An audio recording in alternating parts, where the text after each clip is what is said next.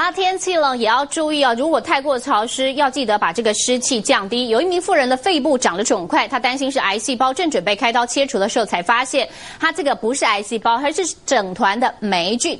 追根究底，发现是她床垫发霉惹的祸。医生特别提醒，台湾潮湿容易滋生霉菌，所以居家记得要除湿，湿度最好是在百分之三十以下，才能杀死霉菌。另外，卫浴设备也最好要消毒杀菌，以免香港脚上升。胸部出现肿块，检查后才发现竟然是霉菌惹的祸。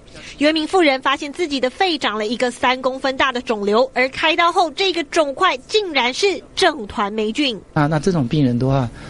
一开始可能都没有症状，但是有一天他如果那个局菌那个刺刺到血呃气管里面的血血液的话，就可能造成咳血、吐血来表现。医生说，这种曲菌瘤的案例并不常见，最常见的是香港脚、灰指甲、骨癣和耳口疮这一类的皮肤黏膜感染。而要避免霉菌侵袭，最重要的就是从居家环境做起。潮湿的浴室和瓷砖最容易滋生霉菌，而每天在睡的床包和枕头套也可能暗藏危机。